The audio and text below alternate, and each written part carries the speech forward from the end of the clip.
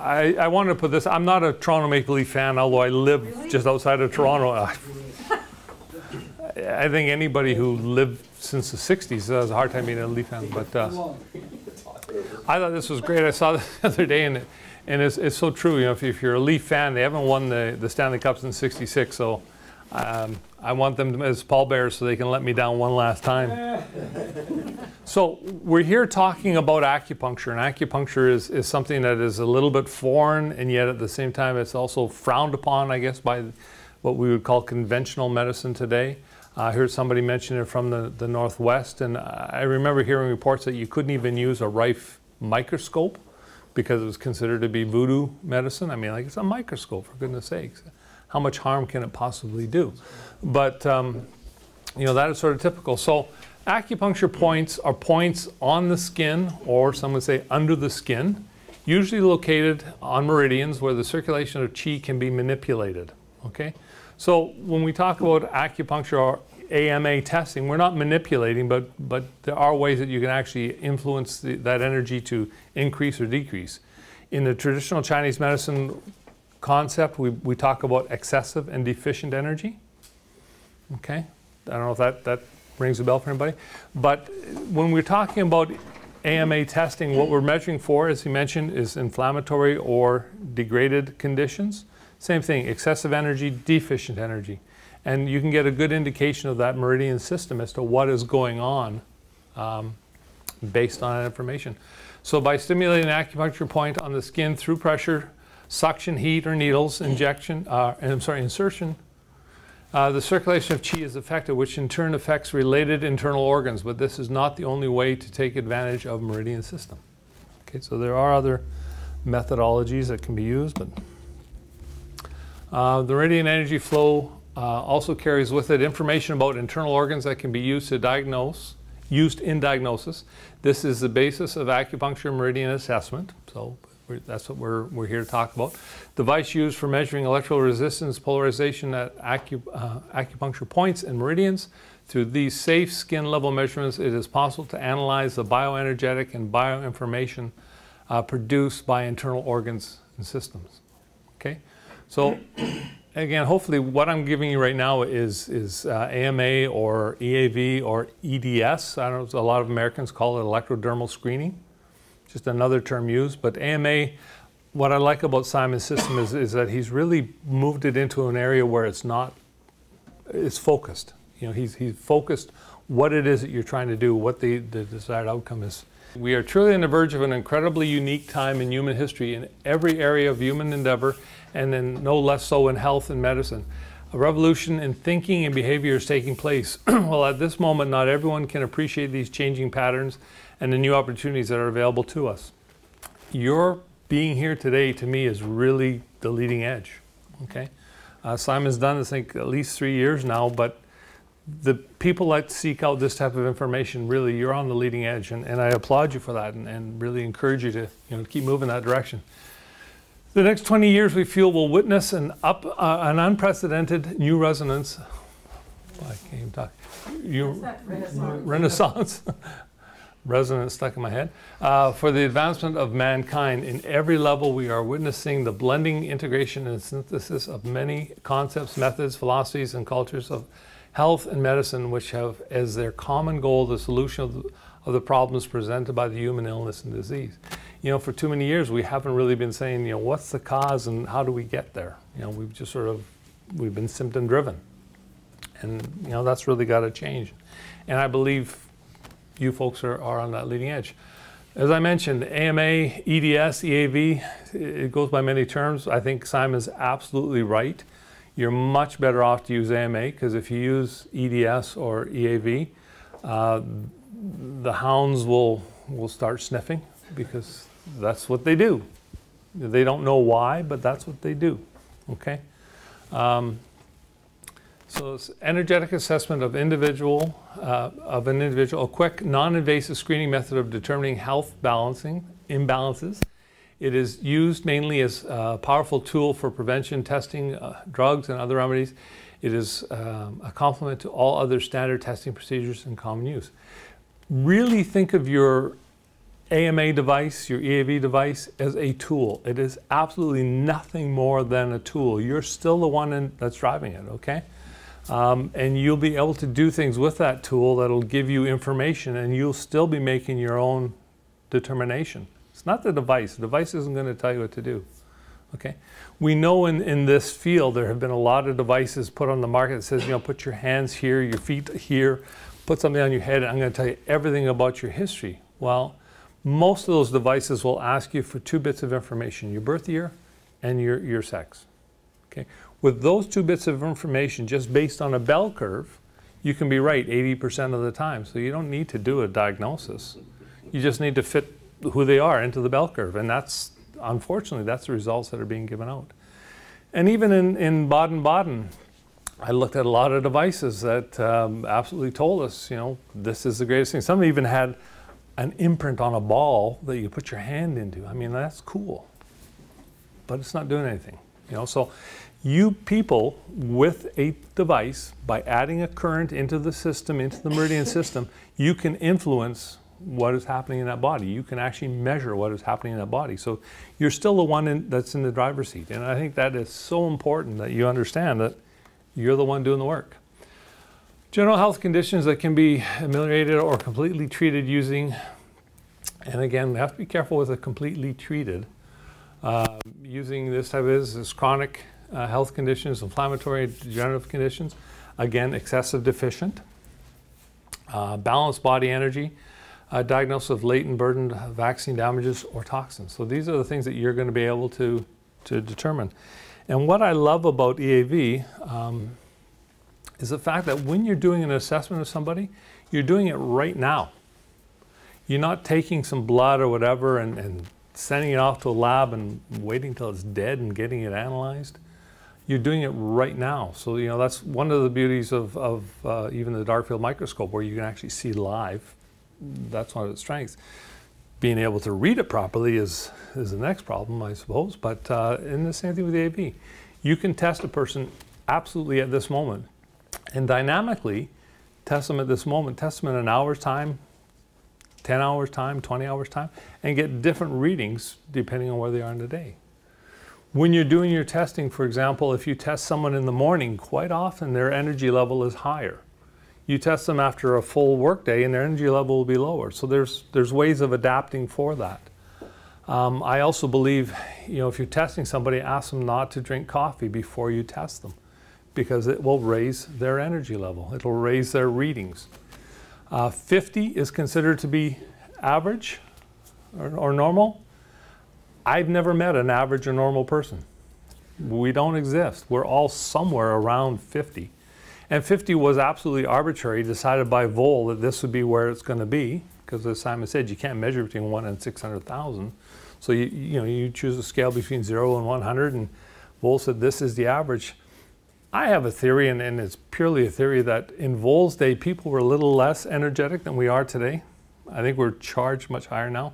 We're living inside of cell towers now. We're living inside of TV, radio tower. We're living inside of so much energy.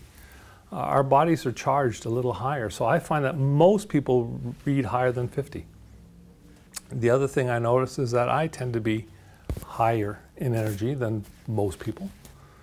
Don't know why. Maybe it's to deal with the cold in the north, something like that. Uh, but I will influence people's readings to be higher. If you get someone calm like Simon, he might read the same person as me and be four or five points lower than I am. Doesn't matter because again, it's he's using the tool to get his bit of information. I'm using the tool to get my bit of information, and I'm able to take that information and make an assessment from there. Okay, so don't don't be fearful. Don't be expecting to find 50s. Don't worry about it if you don't find 50s. Don't worry about it if you happen to be a caffeine drinker and you happen to influence the other person to, to increase. Simon does something. He wears a glove to try and minimize that influence. I have a, he would say an erroneous theory, but I believe that once I'm within five feet of you or even I'm going to be a lot closer, I'm going to affect you anyhow. So uh, all in what you're comfortable with. Um, some Germans like to wear two latex gloves. Yeah, sure. You know, but as I say, in my opinion, they're still going to influence them. Um, so the other things that you can test for, of course, geopathic stress, allergies, food intolerances, uh, parasites, viruses, and bacteria, uh, pain therapy, and uh, remedies treatment compatibility. The last one I think is, quite important. Uh, strengths of this method is fast, reliable diagnosis and treatment method, painless, non-invasive, and without side effects. And that's probably again one of the nicest things is that it doesn't have any side effects. It's fast, it's versatile. Um, he did it in the field in Bolivia, for goodness sakes, you know, because most of these small devices are battery powered. Um, quick estimation of all organs and tissues, reliable method of detecting latent infections and other pathogens. Okay. Uh, it's great technology for prevention. Uh, during measurements, some uh, preconditions that could lead to tumor formation can be identified. And again, because you're testing the person right at this time, you can get a reading now. We don't have to wait until it has actually formed in order to notice that the system is out of balance. So th that in itself is a great tool that you're not having to wait and say, oh yeah, you know, you do have cancer. Well, you're heading that way because you can measure and you can, you can know that energetically the person is heading in that direction. Um, remedy testing, including remedies, compatibility, and their suitability of dosage. Again, you saw how he was doing with the plate. You can introduce anything into it. And that the whole thing actually was very serendipitous. It actually happened when Voll was working with his new device one day, and he went in and had his medication in his pocket, and noticed that his readings were different. So then they actually in the early days used to get people to hold the medication to see how it affected them, and then they realized, well, wait a second, we can actually put it into the circuit.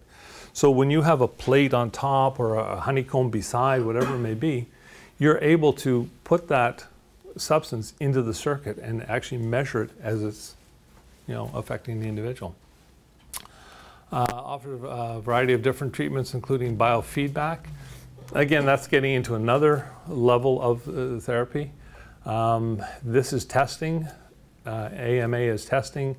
Biofeedback or bioresonance and those type of things, that is, is therapy. Uh, it's based on ancient proven mod uh, modality uh, of traditional Chinese medicine. Okay. Helps patients and doctors build confidence and better visualize the meridians, uh, the cause and effects of health conditions. Um, Simon's charts, I believe you print those out for your patients? Yeah, so you can actually hand them a, copy of, of, what's going on. To do that type of chart, you do need to get into the more sophisticated devices. You do, do need to spend some thousands of dollars to get there so that you can do all those things. Um, we had a discussion this morning, Robert and I, is, is, you know, do you start people off walking or running? And, and like Robert says, he can, he can get people running right away. It's not, not a problem. Um, I sometimes think that for some people, if it's too much to take in, you know, you're going to get a device, you're going to get software, and you're going to that, da, da, da. Too often, I find that practitioners will spend the big money and then let it collect dust. Well, there's nothing worse than a $10,000 or $15,000 boat anchor. Okay, so sometimes it's better to spend. Uh, I see there's four devices. I actually brought three more devices. Uh, I just brought them in from Germany because uh, last year I found out about them, and, and, this year they were still available for me. Um, they're basic M1 units, and uh, normally the basic M1 is about $1,600 now, and these ones are $1,200. So they had three left. I grabbed them, and I have them here with me. If anybody wants, it's a good deal. But that's that's the sales side of things. Okay. Uh, increases client numbers, uh, thus uh, increasing patients' income, our practitioners' income. Uh, and again, you know, maybe that's not what we're here to talk about, but that is an, a reality that you can actually, um, as Simon has become popular, people are flying in from all over the country because of what he does. Training is fast. Uh, you can learn it within two to four days. Uh, devices are easy to use even by practitioners with no traditional Chinese medicine. You don't have to know the meridian system, but you're gonna you're gonna learn it. You're gonna get to know it. Okay, practitioners can produce custom-tailored um, allopathic or homeopathic remedies during the treatment session.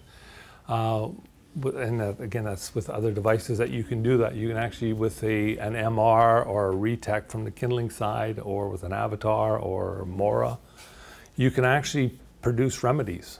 Um, sounds you know, kind of Star Wars, but it's absolutely doable. Recognizing that everything is energy, including the remedies, they're all energy as well.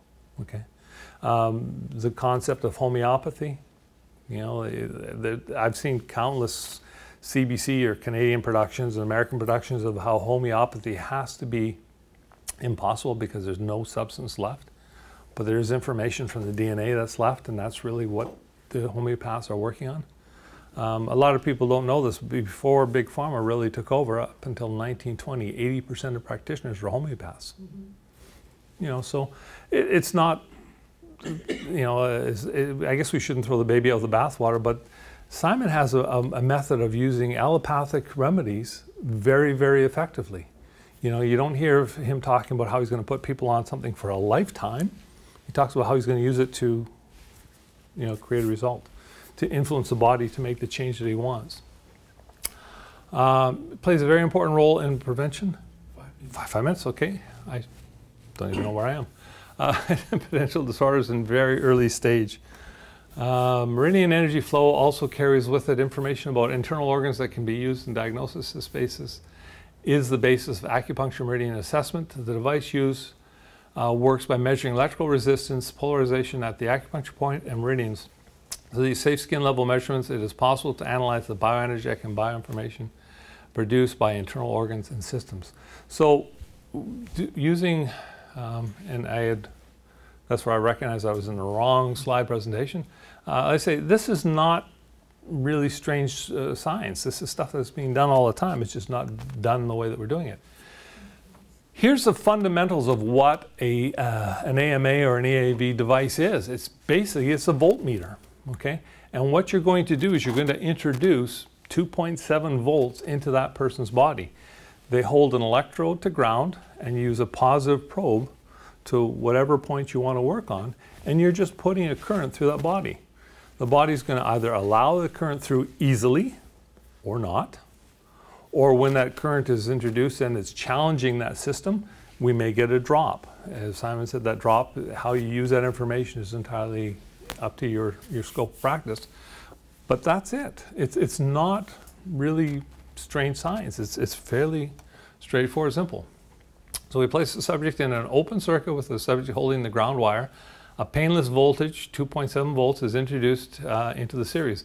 The circuit is closed and the positive probe is touched to the acupuncture point.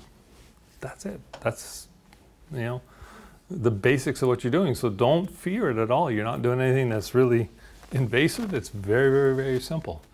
Uh, AMA device acts as a system used by practitioners to confirm their diagnosis of which points and therefore which organs are diseased. It can also be used to make uh, quite valuable measurements as slight differences in the charge of the point indicate different types of disease process. And again, that's what Simon is, is going to get to. Um, I talked about the arbitrary scale with Voll, that it's, it's just a midpoint. Um, and so in theory, that's where the balance point is. Um, many readings you're going to find are going to be either excessive or deficient, and that's really what you're looking for. You, you don't normally find a very well balanced individual. Um, so each point bears a direct relationship to specific anatomical structures or physio physiological functions of the body by means of the meridian system. Um, Simon referred to it as, as um, fiber optics. I think cell phone technology is, is probably another example. We have a hardwire system, our nervous system, which would be like the old bell line, but we also have cell phones. People can't tell you how that voice comes to their cell phone. They don't know how it does, but they know it does. It's energy that is transmitted and it shows up. Our body is exactly the same. We have a system that allows energy to travel through, so we can use it. There again, very simple how, they, uh, how it's applied and what it's doing. Back into that again. So two things are going to happen when you do your testing.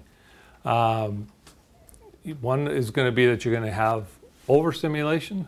Um, all right, because skin would change over, the, oh, so it would change over the span of the probe.